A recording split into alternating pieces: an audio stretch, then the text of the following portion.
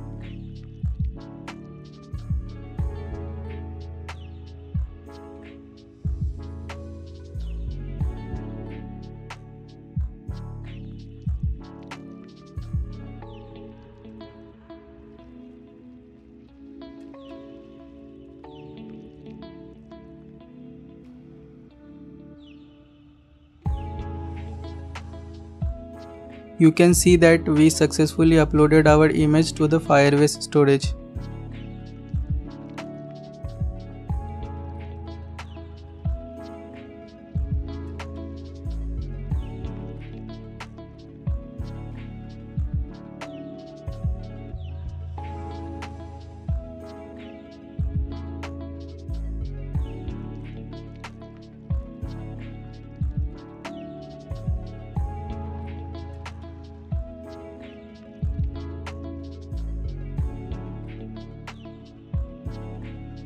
Uh, thanks for watching this video. Subscribe this channel for more project based videos on React Native, Python, data science, Django and machine learning.